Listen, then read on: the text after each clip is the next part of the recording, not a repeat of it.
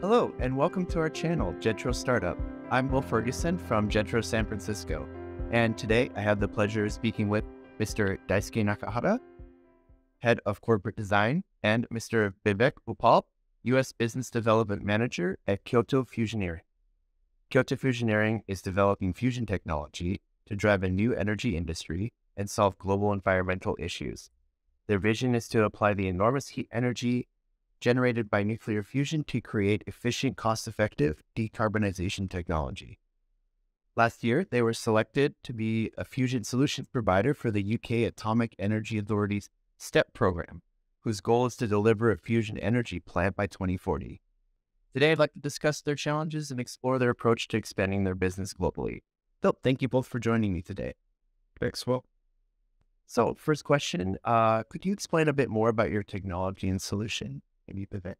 Yeah, yeah. I'll, I'll try to get too technical, um, but for fusion, uh, for those of you who don't know, um, basically you're trying to fuse together atoms, which is different than, than the typical nuclear you hear about, and that produces uh, a neutron, which produces a ton of heat. Um, and so our technology, we're not focused on the plasma core itself, and you'll hear about a lot of uh, big companies and mentioned STEP, um, so international governmental programs. Uh, a lot of those are focused on the, the core plasma um, called the star. Uh, and what Kyoto Fusioneering spoke on is, is the bottle, basically everything else around it. So the approach that we've taken is um, thinking about commercialization, what's in inevitable or necessary for commercialization, and work backwards from there all right, what are the gaps, right? Um, the primary goal for Kyoto Fusioneering, uh, as we believe it is for, for all the kind of serious players in the industry, is realizing the industry, realize fusion energy. And so it's important for us to be somewhat um, critical about, all right, where are the gaps? So that kind of sets the stage for our solution, our technology. Uh, so you have plasma core and everything outside of that. So how do you heat the plasma, right? So we've got uh, our technology, gyrotrons to do that. Um, how do you get the heat out, right? So we've got uh, blankets. So too much technical detail, but basically you want to capture that neutron, heat that comes from that, and you want to translate that into electricity. So we have systems uh, that basically feed off of reactor itself uh, to produce energy and refuel, right? So you've got heating, heat extraction, fueling, right? So you want to uh, get tritium uh, or the neutron out of the reaction to produce tritium, uh, which is what inputs into the reaction. Uh, and then finally, you want to be able to protect and then shield uh, all the expensive and, and complex materials that you've got. So we cover basically everything outside of the plasma core itself. Gotcha. Great. Very exciting stuff. So there are many uh, fusion startups globally. Uh, how do you differentiate yourself? What are your strengths compared to your competitors? So competitor is an interesting term. So uh, fusion, the industry is, is so new and nascent, right? And it's, it's just getting going. Um, so we take the approach, and, and I mentioned it previously, our goal realizing industry. Um, first and foremost, right? Uh, and we see the pie is, is growing exponentially decades. And so um, I guess to answer the first part of your question, how do we differentiate? You know, again, the bulk of the companies are focused on the plasma core as it should be. Uh, and so we're very much complementary to, to, most of the players. And then there are some players that are that are doing stuff that's similar to us, um, which again is great. Right? It's um, the challenge that we're taking on is is large. It's not easy, right? Um, it's not, it's, I, I describe it as the bottle, but it's really not that simple. There's, there's a lot of components, a lot of systems and to talk to each other. Um, it, it is a, a, a monumental task ahead of us. Uh, and so we encourage uh, other players to enter the market um, to take on you know challenges within that um, that large scope work. Uh, and so, yeah, so the, the term competitor, it's more so you know we encourage uh, a lot of other people to, to do stuff that's similar to it's necessary. Yeah, that's great that you're willing to collaborate. So you'll actually see it in in fusion um, throughout its history, how it's evolved, uh, a collaborative approach. Um, I think early on, uh, each individual country was trying to figure it out on their own. They wanted to kind of win the race to fusion because it opens a lot of doors, right? Energy abundance, a clean source of energy.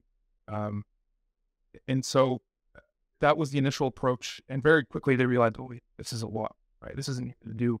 Uh, and, and, they basically published all their research and started to collaborate. And you'll see ITER is, is kind of the, um, the, the example um, that nations have set.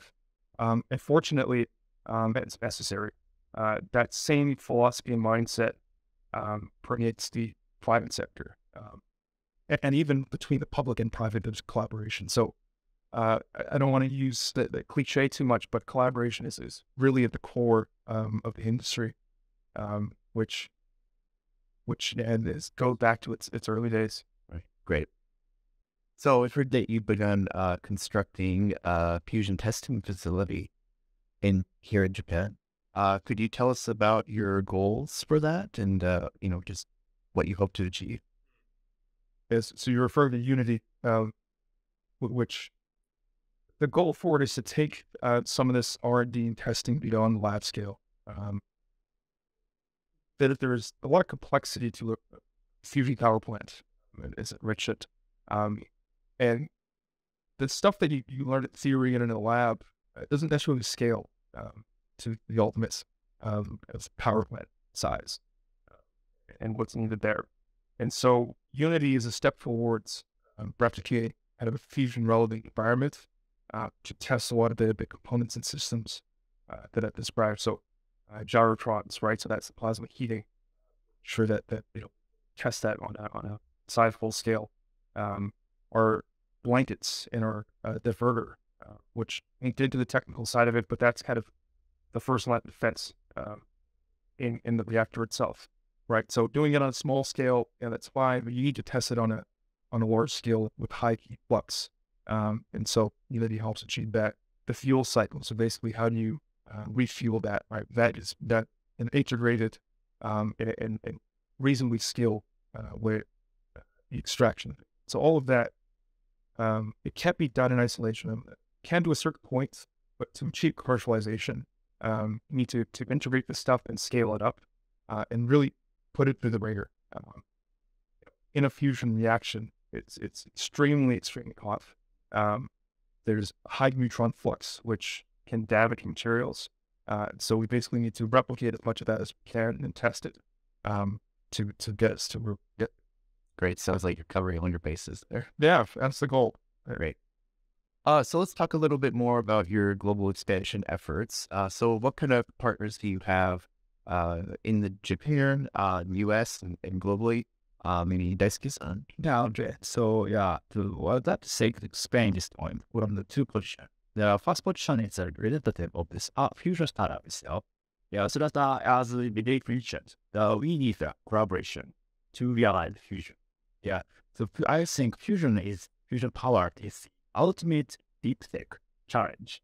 So that's the ultimate deep tech needs. So we need the additional of huge amount of support.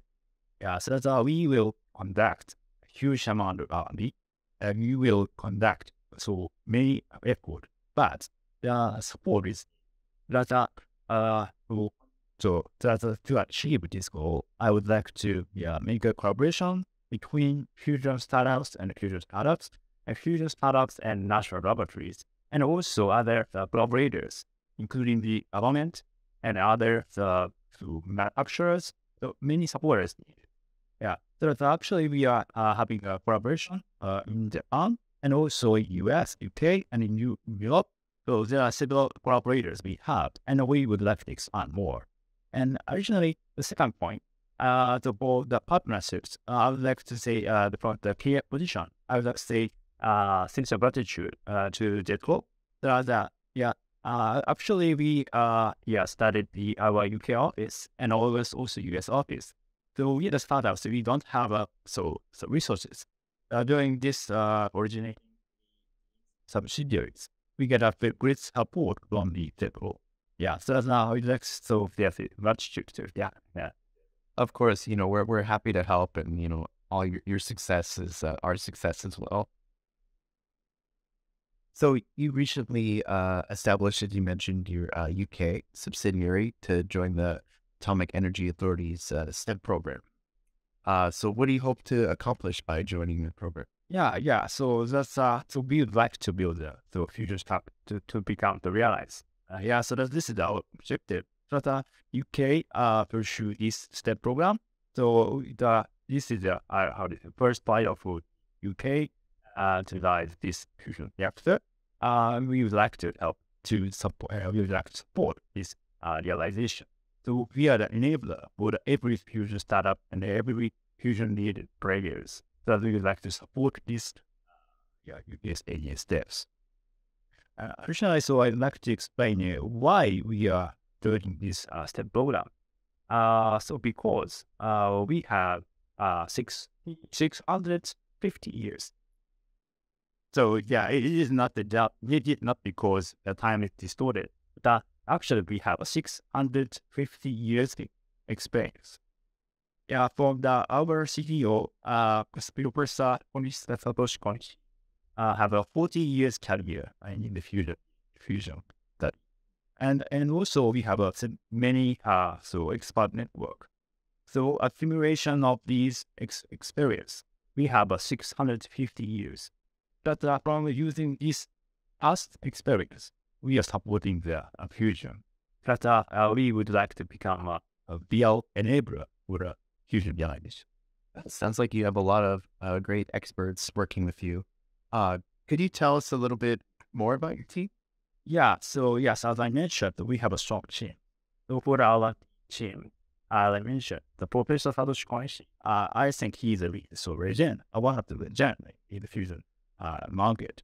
Uh, so that he has conducted area. And also, uh, we have uh, many experts.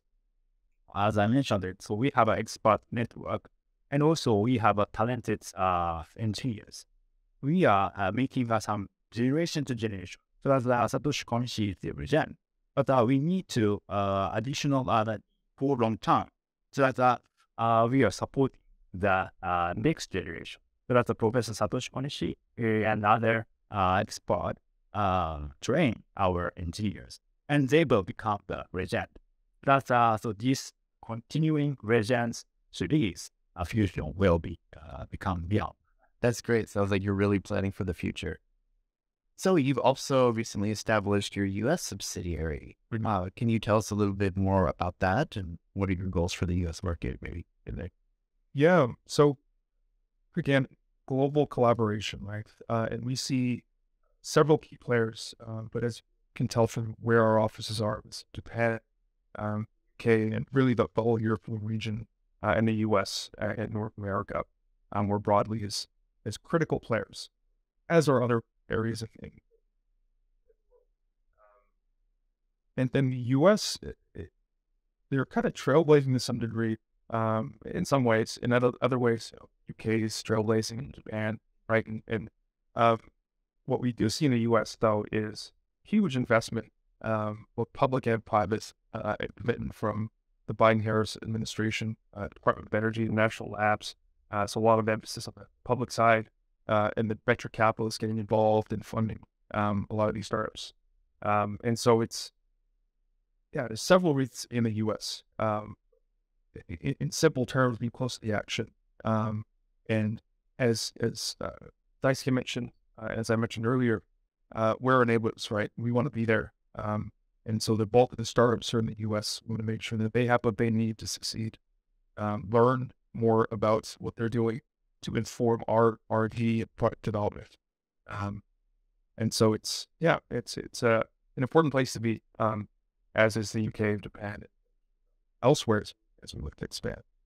Great. The other element to it, so there's, of course, you know, our collaborators and partners, but clients and all that. There's also talent, right? Um, Fusion has an opportunity uh, because it's so nascent uh, to, to, draw in a diversity of people and perspectives and backgrounds um, in, in, in, every way, right? Um, you've got, uh, course, engineers uh, from diverse backgrounds, physicists and technical people, which are critical, uh, communications, um, legal, right? So you want to have all of the functions covered um, and, and, encourage them to to come to um, the fusion industry, right, and, and help bolster it. Uh, and you also want to have people from different uh, backgrounds and different communities. Uh, and so, in addition to kind of going to where the action is, expanding globally allows us to tap into uh, more diverse uh, background. that's other kind of critical element to it as well. For fusion to be realized again, monumental task, uh, and there's a lot of different dimensions across which we need to, to evolve. Uh, and talent is is difficult. So next, uh, do you have any message that you'd like to share to any potential investors or clients and partners that uh, may be watching this? Yeah, so I'd like to say the fusion market uh, will be historical dramatic change for humankind. Because uh, this is the first source we create. So this is the first energy source we create. Because uh, this uh, actually this is the first one. Uh, we just only use the fossil fuel or other uh, energy, but uh, this nuclear fusion is the first target for human. It means this is the dramatical change for humankind. So we have create either change, it will change the global and the humankind's life dramatically. So it means for the investors, I would like to say um, to change market itself, that uh, you can gain uh, additional capital growth, and also uh, you can gain uh, great achievement for humankind. Uh, we would like to share this great uh, journey with you. Yeah, so this is what I would like to say. So, and additionally, uh, we are the enabler for human, uh, for fusion uh, startups and all the fusion players. So that uh, we are uh, standing on a unique position to realize the fu- uh, fusion. Uh, so that's uh, uh, so that's actually next say uh, are the so good uh, so I think what you do best. Uh, so yeah, uh, thank you to our attention. Yeah, that, that that's a, that's a great message. That's like uh, maybe a little long term, but this is definitely a huge opportunity. Yeah, that's game change. Yeah, absolutely. So on the investor side, I want to encourage more investment, of course, right? And we appreciate investors that, that see the long term vision, right?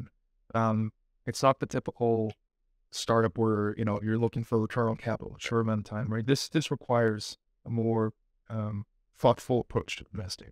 Long term planning. Yeah. So I think that would be a good message for investors, um, and for governments to continue investing, right? And the potential clients. I mean, encourage the diversity of approaches, right? Um, the, the science is very much non-settled, so we encourage we encourage diversity of, of approaches, and we encourage you to connect with us to help you and help enable that. If you'd like to reach out to Kyoto Fusioneering, you may connect with them on LinkedIn or through their website, kyotofusioneering.com. We also invite you to check out our other Japanese startup interviews on this channel, and we also have many pitch videos available for viewing as well.